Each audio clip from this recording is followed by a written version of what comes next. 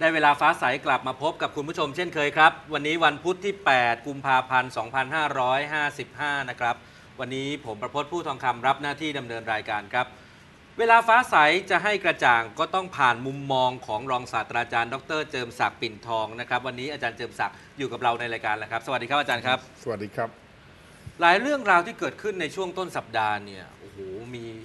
มีเรื่องราวที่อยากที่จะให้อาจารย์ช่วยวิเคราะห์มุมมองหลาย ๆ เรื่องเลยนะครับอาจารย์ครับ ผม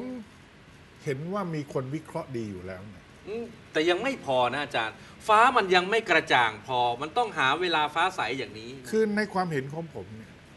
กลุ่มนักวิชาการศาสตราจารย์ ดรอมรจันทรสมบูรณ์ อาจารย์บรรเจิดสิงคเนติ อืม อาจารย์คมสันโพคงกับบรรดานักวิชาการ ที่ผมเรียกว่าเป็นนักวิชาการบริสุทธิ์ ครับ ไม่ได้พัวพันกับพรรคการเมืองไม่ได้เคลื่อนไหว ในทำนองเพื่อประโยชน์ ของตัวเองหรือพรรคพวก ครับ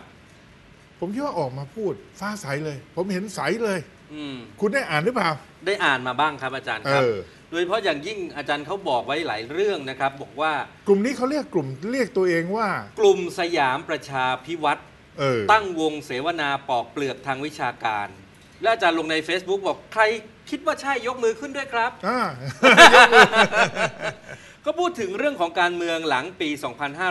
2535 การเมืองในปัจจุบันเป็นระบบเผด็จการพักนายทุน และเป็นจุดเริ่มต้นของการเกิดปัญหาบ้านเมืองมาจนถึงวันนี้ ซึ่งชัดเจนขึ้นเมื่อวันที่ 21 สิงหาปี 2544 ที่สารรัฐธรรมนูญ ตัดสินเรื่องซุกหุ้นของพันตำรวจโททักษิณชินวัตรอดีตนายกรัฐมนตรี ซึ่งเปรียบเสมือนรัฐธรรมนูญปี 2540 ก็ถูกหัก และปัญหานี้ก็ยังบานปลายมาจนถึงทุกวันนี้อ้าวประเด็นนี้เริ่มต้นของสยามประชาพิวัตรพิวัตรครับ ความจริงมีหลายประเด็น แต่ครับผมขอหยุดประเด็นนี้นิดหนึ่งอยากจะขยายความ ครับ แม้จะบอกฟ้าใสแล้วเนี่ย แต่ว่าแม่มันทนไม่ได้ จริงๆแล้วเรื่องซุกหุ้นของคุณทักษิณถ้าสารรัฐธรรมนูญสมัยนั้น ครับ ตรงไปตรงมา อืมบ้านเมืองไม่เละตุ้มเป๊ะอย่างนี้ อืม ผมเสียดายมากเลย โดยครับ เฉพาะบุคคลหลายคน ไม่ว่าจะเป็นอาจารย์กมลทองธรรมชาติเคยได้ยินใช่ไหมศาสตราจารย์นะ รัฐศาสตร์จุฬาเลยหายไปเลยใช่ไหมครับ ผันจันปราณเคยได้ยินไหมโหเคยได้ยินคนอยู่บ้านเกิดอยู่ที่จะนะสงขลาเออ แล้วก็มีใครอีกล่ะ ที่มีพฤติกรรมหลายคนก็จับจ้องมองอยู่ อืมตอนนั้นเนี่ยมันมีการล็อบบี้กันมากมายใช่ไหม ใช่ มีอยู่คนหนึ่งซึ่งเคยเป็นอดีตตุลาการด้วยจุมพลนะสงขลา เออพี่จุ๋มจำได้ไหม พี่จุ๋มเนี่ยดันไปปรึกษากับอาจารย์วสันต์สร้อยพิสุทธิ์ ซึ่งเป็นประธานตอนนี้ใช่ไหมครับ ครับประธานสารรัฐธรรมนูญตอนนี้ ตอนนั้นเนี่ยไม่ได้เป็นสารรัฐธรรมนูญ อืม ว่าถ้าจะหาทางออกให้ทักษิณเนี่ยจะอ้างข้อกฎหมายได้ไหม ครับ อาจารย์วสันต์ก็เลยบอกว่า เอ๊ะ ถ้าอย่างนี้จะไปหาทางออกทำไมแล้วก็ว่ากันไปตรงๆก็แล้วกันอืม จำได้ใช่ไหมครับ จำได้ เรื่องนี้เคยขึ้นโลงขึ้นศาลเป็นพยานกันมาเรียบร้อย ครับ ผมน่ะเสียใจมากเลยตอนนั้น อืม ทักษิณซุกหุ้นเนี่ยชัดเจนมากซึ่งซุกอยู่ในชื่อคนนั้นคนนี้คนนี้คนนั้น อ่า และปปชเนี่ยยังขอให้ผมไปเป็นพยานว่าทักษิณเคยให้สัมภาษณ์กับผมว่า ซื้อที่ดิน 500 ไร่อืม ที่ดินเยเนื่อมอะอ่าจำได้ที่ไปทำสนามกอล์ฟพายเออถูกถูกๆอย่างนี้อาจารย์ไม่ซื้อเหรอเออจำได้ทักษิณพูดเลยอืมผมเนี่ยถูกเรียกไปเป็นพยานว่าทักษิณพูดจริงไหมก็คผรัมบก็มีเทปอยู่ ผมก็ไปรับรองเทปว่าทักษิณพูดจริงอืมแล้วที่ดังกล่าว ชื่อดังกล่าวก็ไปซุกอยู่กับชื่อของคนอื่นอืมอย่างนี้เนี่ยมันผิดชัดเจนแล้วมันมีอยู่หลายเรื่องหลายราว ซุกอยู่กับคนใช้บ้างซุกอยู่กับคนขับรถบ้างคนสวนบ้างครับ น้องที่ชื่อยิ่งรักษณ์บ้าง อืม พี่พี่เมียบุญอ่าธรรมไม่ใช่พี่เมียแท้บรรณพจน์ดามาพงศ์ๆเออ ซุกคนนั้นซุกคนนี้ แต่สารรัฐธรรมนูญเนี่ยได้ตัดสินออกมา ถ้าไม่มีการวิ่งเต้นตรงไปตรงมาบ้านเมืองเรียบร้อย มวันเดียวกันเวสัปดาห์เดียวกัน ตัดสินเรื่องของคุณอะไรนะ ที่เขาเป็นหุ้นส่วนเนสคาเฟ่อยู่เนี่ย อ๋ออ่าอ่าอ่าคุณอ่าอ่าอ่าผมจำชื่อไม่ได้ คุณก็ชักจะจำได้ลูกชายก็เคยมาทำงานการเมืองอยู่เล็กน้อย เออ นั่นแหละอ่านั่นั่นตัดสินผิดอืมแต่พอมาอันนี้กลายเป็น 8 ต่อ7อืมแล้ว 8 ที่บอกว่าไม่ผิดเนี่ย ดันไปเอา 4 ที่บอกว่า 4 บอกว่ามันไม่เข้าข้อกฎหมายอืมเลยไม่พิจารณาโอ้อีกสี่หนึ่งบอกว่าไม่ผิด อีกเจ็ดบอกว่าผิด อ่า เขาดันเอาสี่บวกกับสี่เลยเป็นแปดแปดต่อเจ็ด ชนะเจ็ดโอ้ โอ้บ้านเมืองพังพินาศเลย อ่า เพราะฉะนั้นผมคิดว่ากลุ่มสยามประชาพิวัตรได้เท้าความได้ตรงมากเลยว่าบ้านเมืองเนี่ยมันเริ่ม ที่จะทำให้เรามองเห็นว่าบ้านเมืองไทยเป็นระบอบเผด็จการโดยทุนนิยมสามานเนี่ยมันเข้ามาตรงไหน มันเริ่มที่เห็นตรงนี้แหละครับ ครับ แล้วเขาก็ยังขยายความต่ออีกว่าในในการเสวนาของกลุ่มสยามประชาพิวัตรเนี่ยในช่วงก่อนปี 2535 นั้นอำนาจทหารมีอย่างมากในสังคมไทย อืม แต่เมื่อมีพักการเมืองในทุนอำนาจก็ถูกเปลี่ยนมือไปสู่นายทุนพักการเมืองพักการเมืองจึงกลายเป็นบริษัทการเมืองตามรัฐธรรมนูญ และไม่ใช่พักการเมืองที่เป็นตัวแทนประชาชนตามความหมายแบบตะวันตก อืม แต่พักการเมืองกลายเป็นสมบัติส่วนบุคคล ซึ่งนายทุนสามารถกดรีโมทบังคับได้ ทั้งการบังคับทางอำนาจนิติบัญญัติ บริหารบัญญัติ กลไกทั้งหลายทั้งปวงผลประโยชน์ที่ประชาชนพึงจะได้รับ จึงตอบสนองที่ผู้ซึ่งเป็นเจ้าของพรรคการเมืองเท่านั้น คุณจำได้ไหมผมเคยเล่าในรายการนี้ ครับ ไม่เล่าให้คุณฟังก็คุณถนอมเนี่ยแหละอืม คนใดคนหนึ่ง ครับ ว่าทักษิณเคยปรึกษากับผมว่า ถ้าจะลงงานทำงานการเมืองหรือลงเล่นการเมืองเนี่ยปรึกษากับผมที่โรงแรมเชียงใหม่ออคิด เชียงใหม่ออคิดอ่าเออ ตอนนั้นก่อนที่จะเข้าพักพลังธรรม ใช่ ก่อนที่จะทำงานการเมืองเลย อืมยังเป็นธุรกิจนักธุรกิจเต็มตัว ครับ ปรึกษากับผมว่า ถ้าจะจะเล่นการเมืองเนี่ย คิดว่ายังไงจะเข้าพักไหนยังไง ผมเคยเล่าให้ฟังในรายการนี้แล้ว ครับ เพราะฉะนั้นไม่ต้องเล่าซ้ำแต่เห็นไหมครับว่าในที่สุดคุณทักษิณก็เริ่ม ไปที่ไทยรักไทย โดยการเริ่มที่ตัวเองมีเงินและไปจัดตั้งพักครับแล้วดึงผู้คนเข้าไปเป็นกรรมการบริหารพัก แล้วค่อยไปหาสมาชิกพัก ซึ่งมันกลับกันเลยอืมพักการเมืองมันควรจะมาจากผู้ที่มีอุดมการณ์เหมือนกันมารวมตัวกันครับเพื่อที่จะจัดตั้งพรรคการเมือง แล้วเลือกคนที่จะมาเป็นกรรมการบริหารพรรค จากกรรมการบริหารพรรคจึงเลือกคนที่เป็นหัวหน้าพรรคหัวหน้าพรรคอืม แต่นี่มันเลือกทำกลับกัน เลือกหัวหน้าพักก่อน เออ แล้วก็ไปหาข้างล่างเอา เออก็เงินกูอะกูตั้งบริษัทอะอ่าแล้วกูก็เลือกกรรมการบริษัท ครับ แล้วกูก็ขายของไปหยิบเอาเซลแมนมา อืม พอเข้าใจไหมครับ เพราะฉะนั้นกลุ่มสยามประชาพิวัตรวิเคราะห์ตรงนี้เนี่ยแม่นมาก อืม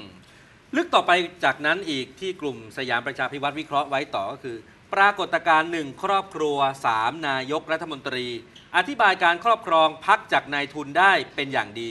ผู้ที่ควบคุมพักเหล่านี้มีเสื้อคลุมประชาธิปไตย แต่ข้างในเป็นเผด็จการ ตรงนี้จึงเป็นเรื่องที่สยามประชาพิวัตรต้องแจงให้เข้าใจว่า ในประชาธิปไตยที่ซ่อนรูป มีเจ้าของพักที่กดรีโมททั้งนี้สังคมไทยเป็นระบบอุปถัมภ์ที่หนาแน่น ถูกอุปถัมภ์โดยทุนการเมืองประชาธิปไตย ประชาธิปไตยไทยจึงมีเพียงเปลือกแต่ข้างในเป็นเผด็จการ และเราไม่สามารถปล่อยให้ประเทศไทยทำแบบนี้ได้ยืนยาว ก่อนที่ประเทศไทยจะมีหนี้สินหนี้สาธารณะที่เกินตัวและ เราต้องพ้นออกไปจากวังวนเอาละนี้ ประเด็นนี้มีประเด็นที่น่าสนใจมาก ครับ ถ้าคุณเข้าใจว่าเวลามองพักการเมืองเนี่ยมันไม่ใช่พักจริง มันเป็นเหมือนธุรกิจที่ไปจัดตั้งบริษัท เจ้าของทุน เจ้าของบริษัทอำนาจเด็ดขาด ครับ เป็นเผด็จการได้เลยใช่ไหมครับ ใช่ครับ ตัวเองไม่ได้เป็นประธานบริษัท ไม่ได้เป็นผู้บริหารสูงสุดของบริษัท สามารถที่จะให้น้อง สามารถที่จะให้พี่อืมเป็นได้ ครับ เพราะฉะนั้นกลุ่มสยามประชาพิวัตรจึงบอกไงว่า ครอบครัวนี้เนี่ยจึงเป็นนายกรัฐมนตรีก็คือเป็นซีอของบริษัท ชื่อชื่อนี้อืม สามคน ทักษิณสมชายวงศ์สวัสดิ์ และยิ่งลักษณ์ครับ ตกลงเห็นไหมคนในครอบครัวสามารถเป็นได้สามคน อืมนี่มองในมุมที่คล้ายๆ บริษัท ครับ ถ้าคุณในมองในมุมที่บอกว่า เขาชอบกล่าวหาว่าระบบสมบูรณาญาสิทธิราชย์อืม เป็นระบบที่มีการถ่ายทอดราชสมบัติใช่ไหมครับ ครับ อันนั้นอดีตการมานานแล้ว ถามว่าเขาทำเหมือนกันไหมอืมน่ากลัวไหมโอ้โหไปยิ่งปรีบเห็นเลยทีบใช่ไหมครับ อืม ยิ่งเห็นชัดเจน ครับ แต่ขณะเดียวกัน คนอื่นเนี่ยเขาทำเนี่ยเขาไม่ได้อ้างว่าเขาอยู่ในเสื้อคลุมของประชาธิปไตย ครับแต่อันนี้อ้างตลอดเวลามาจากการเลือกตั้งอ๋อมาจากตัวแทนของปวงชน15ล้านเสียงสนับสนุน เออ และเรามีสสจำนวน 300อีกเป็นต้น เออ เพราะฉะนั้นแต่ละคนเนี่ยก็จะอ้างว่าเป็นตัวแทนของปวงชน มาในระบอบประชาธิปไตย ครับ แต่วิธีการได้มาของสส เขาก็ทำกลับกันหมด ปกติสสเขาจะชอบใคร เขาก็จะเลือกคนนั้นขึ้นมาเป็นอืมสสเป็นตัวแทน ครับ แต่เที่ยวนี้แทนที่เขาจะให้ประชาชนเลือกใครเป็นตัวแทน เขาเล่นไปทำโพลก่อน โอ้ ว่าไอ้คนไหนเนี่ยเป็นผู้อุปถัมภ์ในท้องถิ่น โอ้ ไอ้คนไหนเนี่ยที่ประชาชนเขาศรัทธานในระบอบอุปถัมภ์เคยช่วยเหลือเขานะครับ คนนี้คงได้รับการเลือกตั้ง ไม่ว่ามันจะรู้จักประเทศประเทศไทยเป็นผู้แทนที่ดีหรือไม่ไม่สนใจอืมไปทำโพลไปอย่างเสียง ครับ พอได้สมมุติประพศอ่า ในเขตนี้อ่าก็ไปเกลี้ยกล่อมซื้อตัวประพศมา โอ้พอซื้อตัวประพศมาแล้วก็เอาประพศไปลงประพศก็ได้ยังไงก็ได้แน่อ่าแต่พอพอการเลือกตั้งครั้งถัดไป ถ้าประพศเสียงตกไม่ได้ ผมเปลี่ยนประพศเขาคิดว่าเสียงใครดีกูไปซื้อคนนั้นมาแทน ๆโอ้ แต่ถ้าประพศคะแนนยังดีพอสมควรครับสูสีกับไอ้คนใหม่ แต่แพ้ไอ้คนใหม่หน่อยนึงอืมประพศลงปาร์ตี้ลิสต์ด้วยต้องลงฐานเสียงผมซื้อมันหมดเลย ทั้งฐานประพศและฐานไอ้คนใหม่โอ้นี่มันขายของอะมันไม่ใช่มันไม่ใช่เลือกตั้งในระบอบประชาธิปไตยโอ้ไม่ได้เปิดกว้างดูว่าประชาชนสนใจอยากได้ใครมาเป็นตัวแทน จริง ๆ แล้วเนี่ยมันจะต้องดูว่าพักเรามีอุดมการณ์อย่างนี้ อืมอุดมการณ์อย่างนี้เราหาผู้แทนที่มีอุดมการณ์เหมือนเรา ครับ และเราไปเล่ขายนโยบายไปเล่ขายอุดมการณ์ว่า ใครมีอุดมการณ์อย่างนี้จงเลือกเรา โอ้ เราก็จะได้ตัวแทนที่สะท้อนความเป็นจริงของอุดมการณ์ของหลักการของนโยบายที่แท้จริง อืม ไม่ใช่นี่ใช้ลูกเล่น ไปเอาตัวคนมาเป็นเซลแมนก่อน โอ้ ใช่ไหมครับ ครับฟังฟังแรงอย่างนี้แล้วเนี่ย ความปรารถนาเขาคืออย่างไรก็ตามขอให้ได้นักเลือกตั้งเข้ามา อ่า ก็นึกถึงว่าแหมนึกถึงเติ้งเสี่ยวผิงที่พูดคำคำหนึ่งไว้น่าสนใจ แมวแมวสีอะไรก็ได้ไม่สนใจ ขอให้มันเขา จับหนูได้ก็พอถูกต้องเขามองอย่างนั้นเลย โอ้และเขาก็เลยมองว่าคนที่เป็นสสคือลูกจ้าง โอ้เมื่อมองว่าสสเป็นลูกจ้าง มึงต้องยกมือ ครับ และบังเอิญอีกรัฐธรรมนูญปี 40 บอกว่า เมื่อเข้ามาแล้วเนี่ยจะเปลี่ยนพักการเมืองเนี่ยจะต้องไปอยู่พักสังกัดพักใหม่ถึง 90 วัน ก่อนที่จะมีการเลือกตั้ง ครับ ไม่มีใครใกล้กล้าขยับหนีเลยอืมเพราะถ้าขยับออกจากพักนี้ เขายุบสภาตูมมึงลอยเท้งเต้งไม่สามารถที่จะลงสมัครพักลงสมัครใหม่ได้ครับตกลงมันก็เลยกลายเป็นทาสเป็นเซลแมนที่ย้ายบริษัทก็ไม่ได้อืมเป็นพนักงานบริษัท ครับ พอมองเห็นไหมโอ้เห็นภาพชัดเจน แต่จะชัดเจนมากขึ้นกลุ่มสสยามประชาพิวัตรวิเคราะห์ไว้ต่ออีกครับ อาจารย์ครับ ในรัฐธรรมนูญบอกสสเป็นผู้แทน แต่มีการเขียนใบลาออกล่วงหน้า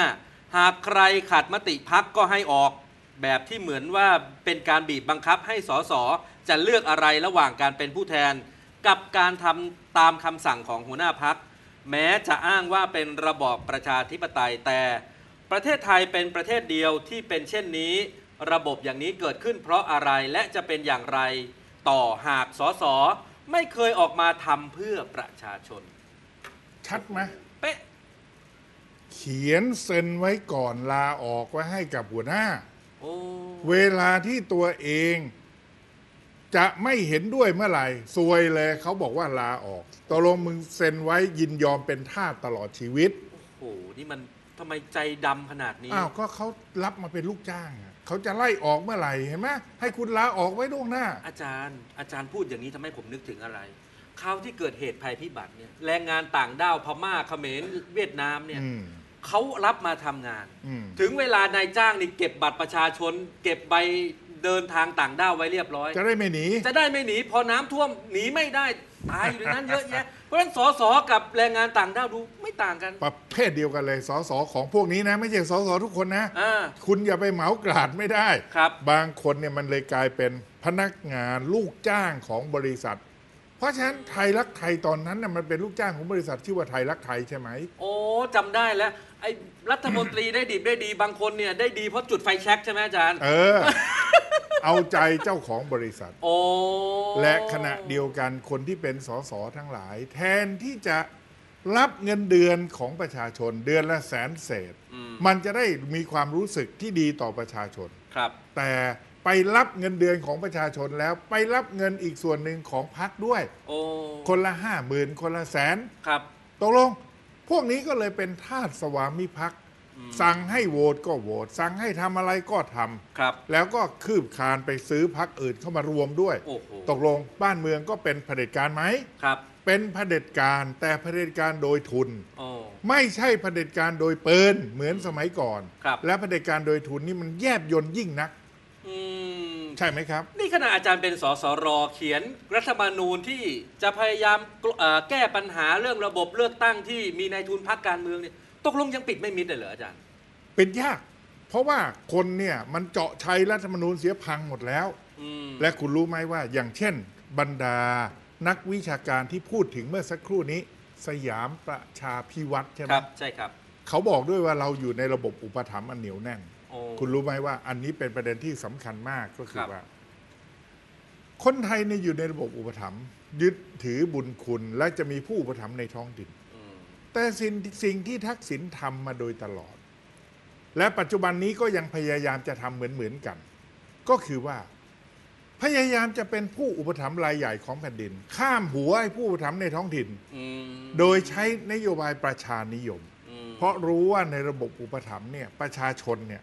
เขาจะหวังพึ่งพาของฟรี ครับ ของแจก กาขรองช่วยให้ เหลือ และระบบอุปถัมภ์ชาวบ้านมักจะมองว่าผู้อุปถัมภ์เป็นผู้ที่มีทรัพยากรเยอะ เป็นผู้ที่มีความรู้มาก ครับ เป็นผู้ที่มีอำนาจสูง เราเนี่ยต้องหวังพึ่งพาท่านอืมพอหวังพึ่งพาท่าน ท่านแจกท่านแถม คุณจึงจึงมีโครงการประชานิยมเกิดขึ้นมเพื่อหวังที่จะให้เป็นผู้อุปถัมภ์รายใหญ่ของแผ่นดิน ครับ คุณคิดว่า การเป็นผู้อุปถัมภ์รายใหญ่ของแผ่นดินเนี่ยมันจะมีปัญหาในระยะยาวกับโครงสร้างระบอบประชาธิปไตยที่มีพระมหากษัตริย์เป็นประมุขไหมแน่นอนชัดเจนมีปัญหาแน่ ใช่ไหมครับ ครับ ไปคิดเอาเองก็แล้วกันผมหมายความว่าไง อืม